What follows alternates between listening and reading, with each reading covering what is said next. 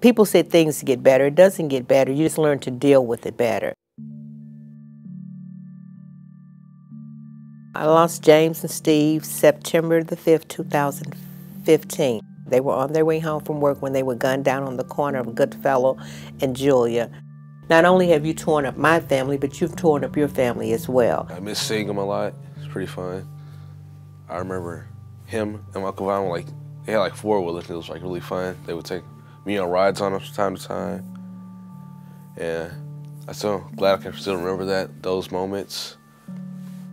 I was lost. I was out of it. It took my heart away because that's all I had that I knew loved me. If my mother, my father, my siblings didn't, I knew my kids did. Alvin was murdered uh, September the 27th in uh, 1989.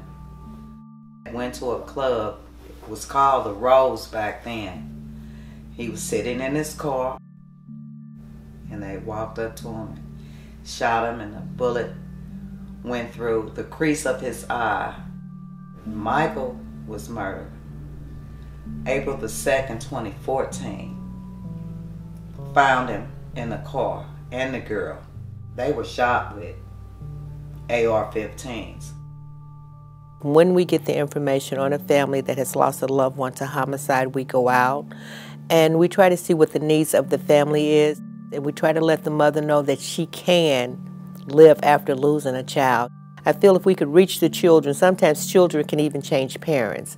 STL Mothers in Charge is a group of mothers, grandmothers, aunts, sisters committed to reducing the number of violent acts in St. Louis. Our mission is violent prevention, education, intervention for youth, young adults, families, and community organizations.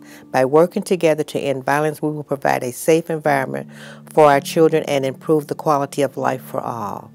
It's necessary for STL Mothers in Charge to get out and to reach the community to see what it is that we can do to make an impact, that we can start changing things. You see, it's such a bad place where you have to watch your back or be very careful could just like walk around, be like, have a good life without worrying about somebody shooting or you go to the park in a bad neighborhood, have to worry about somebody getting killed. It's a community that's heavily impacted by gun violence. A lot of the kids there live with this. We had the Easter egg event at Hickey Park over here in Baden. We got trees donated, and so each family got to plant a tree in honor of their loved one. Um, and then we had a balloon release.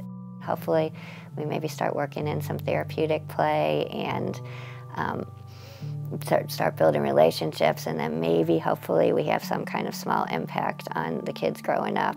Community means to come together and unite.